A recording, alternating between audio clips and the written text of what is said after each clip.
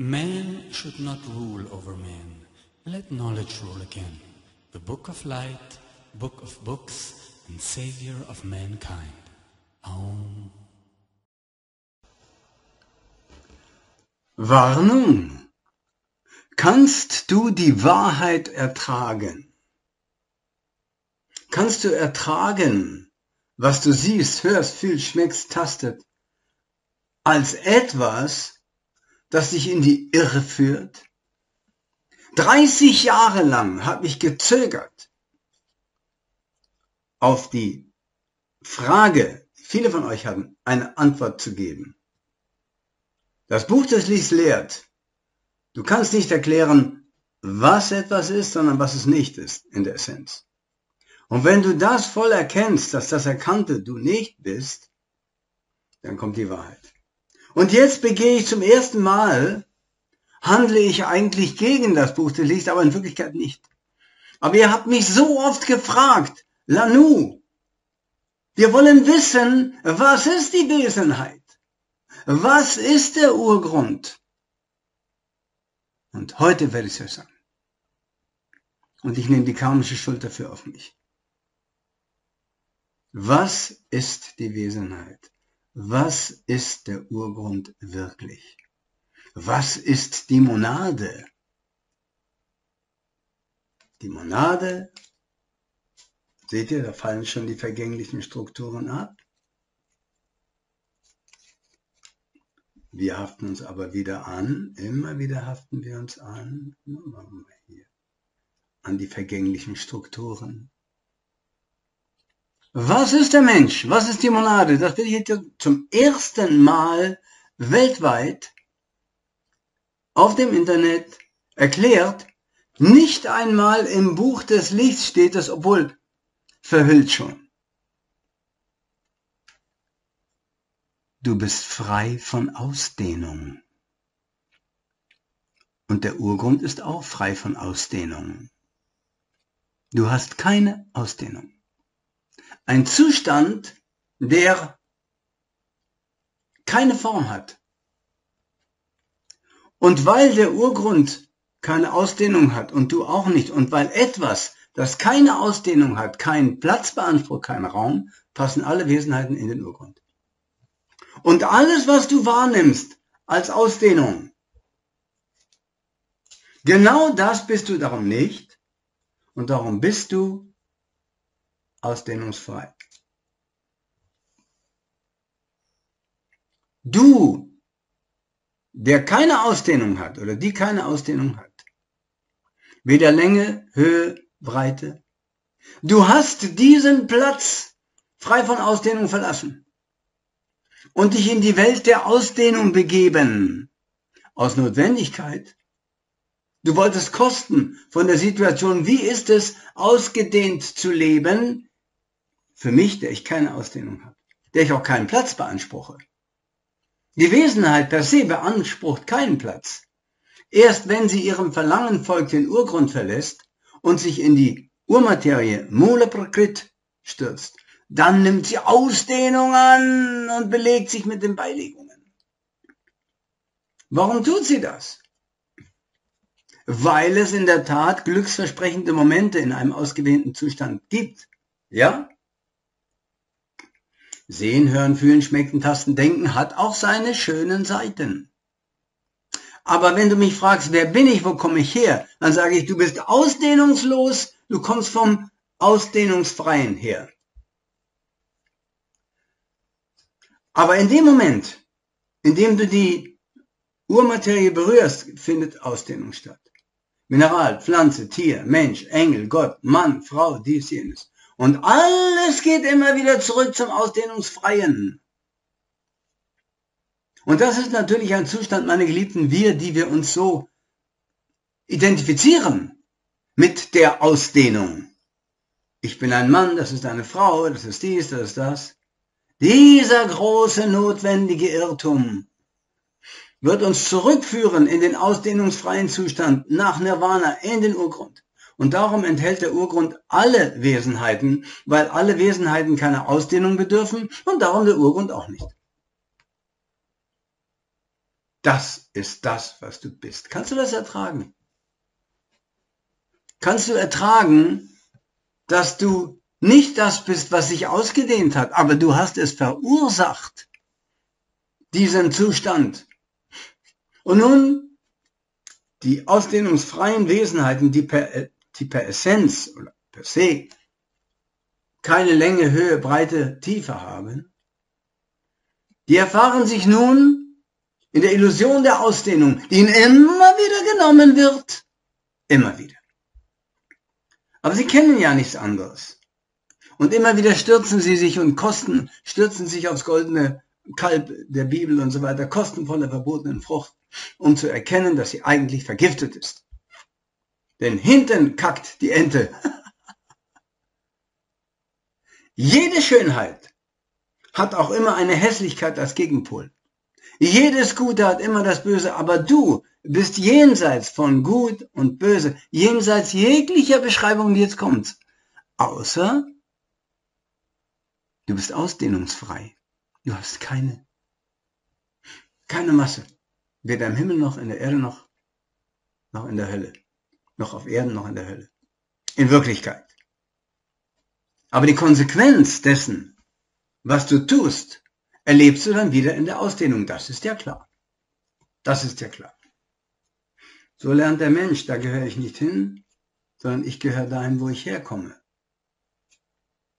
Ins Ausdehnungsfreie. Da, wo es keine Länge, Höhe, Breite, Tiefe gibt.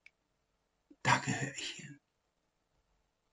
Und das ist natürlich, meine Lieben, eine Erkenntnis, die uns lehrt durch das Buch des Lieds.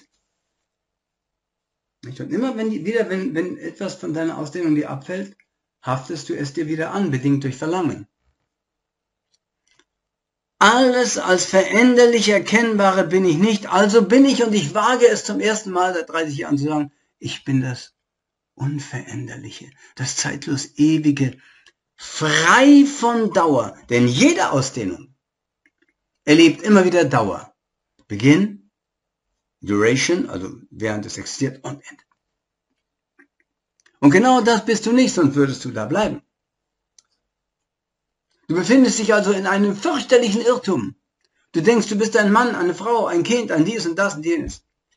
Ich will nicht euch die Erfahrung nehmen, die ihr als Menschen und so weiter haben solltet und wollt. Nur ich bin, komme jetzt mal zum Punkt. Nach über 30 Jahren, dass ich versprochen habe, es nicht zu machen. Der große Johann möge mir verzeihen. Du bist etwas, das weder Anfang noch Ende hat. Und das höchste, der höchste Zustand ist der, in dem keine Zeit vergeht. Ja, wie kann ich den erfahren? Ich bin doch hier in der Zeit. Geleitet durch die Lehre und durch Seelenatemmeditation. Da kannst du empirisch sein in einem dauerfreien Zustand. Das ist der sogenannte Atemstillstand. Wer den erzwingt, leidet, wer den erzwingt, landet in der Psychiatrie. Das ist eine Sache, meine Lieben, die vielleicht einige Leben dauert. Man sitzt, man meditiert. Auch der in der Welt Verhaftete, sagen wir, da könnte es manchmal einen ersten Loslösungsschritt haben von dem sich mit der Form identifizieren, mit dem, das keine Form mehr hat. Bin ich dann zerstört? Du wirst sehen, du bist nicht zerstört. Du meditierst und beobachtest. Du beobachtest den Loslösungszustand. Und aus einem Zustand, in dem du Zeit erlebst, durch die Beobachtung wird es immer stiller. Früher oder später. Das kann nicht sofort passieren, meine Lieben, ganz selten. Kommst du in einen Zustand, wo du den Körper gar nicht mehr brauchst und dann hört er auf zu atmen. Der ist nicht tot. Er ist nicht tot. Nee, nee. Nun könntest du sagen, ja, wenn Bewegungslosigkeit, zum Beispiel, das ist ja das, die Bewegungslosigkeit bringt dich zur wahren Unsterblichkeit. Ja, wenn ich so mit dem Körper sitze und nichts mache und gucke nur so, dann bewege ich mich ja auch nicht.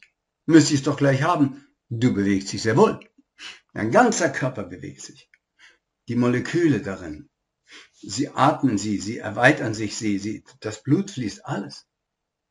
Nur im Atemstillstand. Da hört der Körper auf zu atmen. Es ist so, als ob du tot bist, aber noch lebst. Und weil diese Aktion, die du meditativ erreichst, den Körper ruhig stellt, kannst du dich nach Nirvana zurückziehen. Erzwinge es nicht. Tägliche Studium und Meditation. Ne, am besten wäre es natürlich, wenn du ins Kloster gehst. Aber bitte, was? Ihr wisst ja von meinem Vortrag, bau dir dein eigenes Kloster. Kannst du doch. Stilles Eckchen. Meinetwegen das Bild des Buddha oder Buch des Lichts oder gar nichts. Aber geleitet durch die Lehre. Denn du schließt ja dann die Augen. Du schaffst dir einen Moment der Ruhe, wo dich keiner stört.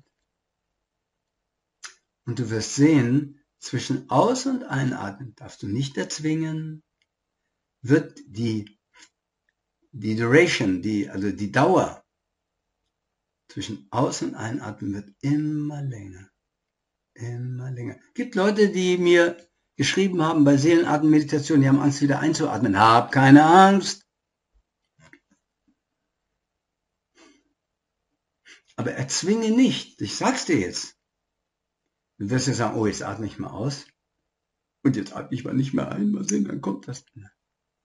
Sei achtsam und beobachte die Bewegung dessen, was du nicht bist. Und weil du ihm keine Aufmerksamkeit schenkst, früher oder später, außer achtsam zu sein, diesen Vorgang betreffen, aber du involvierst dich nicht mehr, wird der Körper, da du ihn ja da nicht mehr brauchst, aufhören zu atmen. Und dann kommt der ausdehnungsfreie Zustand, früher oder später. Das ist wahre Unsterblichkeit. Sterblichkeit hat immer mit Dauer zu tun. Wenn du Dauer wahrnimmst oder sogar noch dem, was Dauer hat, anhaftet, was ja die meisten Wesen in der Welt tun, dann erlebst du eben den Tod schmerzhaft. In, der, in dem Maße, in dem du den, äh, was du da wahrnimmst, anhaftest. Das Paradies der Bewegungslosigkeit. Da ist die Wahrheit. Und nur weil du ruhig da sitzt, heißt noch nicht, du bist bewegungslos sondern die ganze, der ganze Körper, diese ganze Maschine wird abgestellt. Nicht durch Selbstmord oder so, ja. Im Gegenteil, im Gegenteil. Du beobachtest achtsam, was geschieht, aber du mischst dich nicht mehr ein. Zum Beispiel, du hast einen Gedanken, er kommt, er geht. Du hast eine Empfindung, sie kommt, sie geht. Misch dich nicht ein. Wenn du das praktizierst und Seelenatemmeditation lernst, dann erlebst du noch, während du im Körper bist, im, im, im sterblichen Körper, dann wirst du unsterblich. Je weniger die, du dich mit dem Sterblichen identifizierst. Die Körperberuhigung ist der erste Schritt. Sie geschieht in der Seelenatemmeditation. Wir beobachten das Auf und Ab achtsam. Wir mischen uns nicht. Schau mal, Beispiel. In einem Meditierenden geht der Atem erst so ein, aus, ein, aus, ein, aus,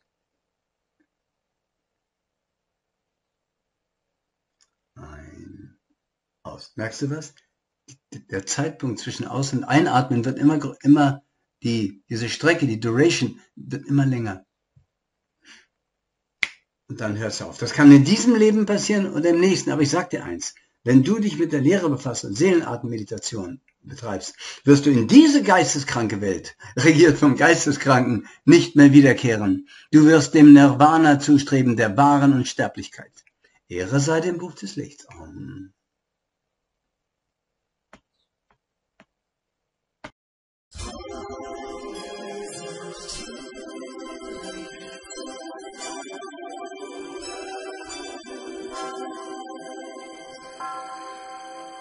Frau, die verkauft ihren Körper an fremde Männer.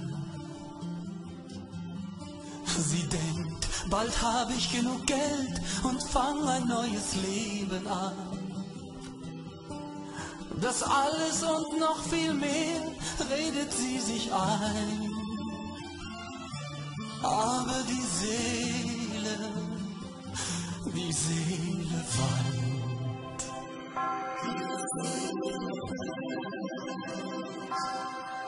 Eine Mutter, die gibt ihr Kind zu fremden Eltern. Sie sagt, dort hast du es besser als bei mir. Und sie wendet sich ab, geht davon und sagt, es muss so sein. Aber die Seele, die Seele weint. Die Seele weint, die Seele weint, doch nichts bleibt so, es heute scheint.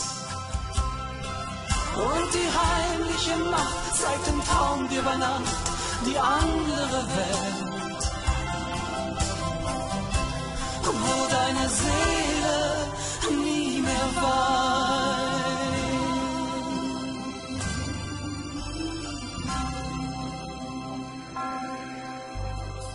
Siehst du den alten Mann dort an der Ecke stehen? Er hat nichts zu essen, er friert und er ist so allein. Doch die Menschen gehen ohne einen Blick an ihm vorbei. Und die Seele, die Seele weint.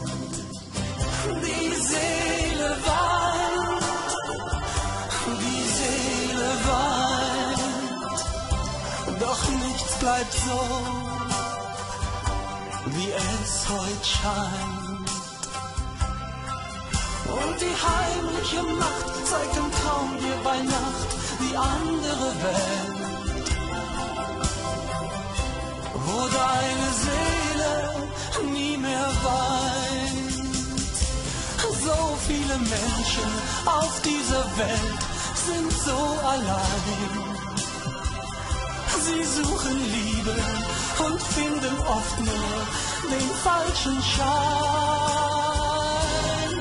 Tief in dir ist eine Stimme, die sagt, du musst nicht einsam sein.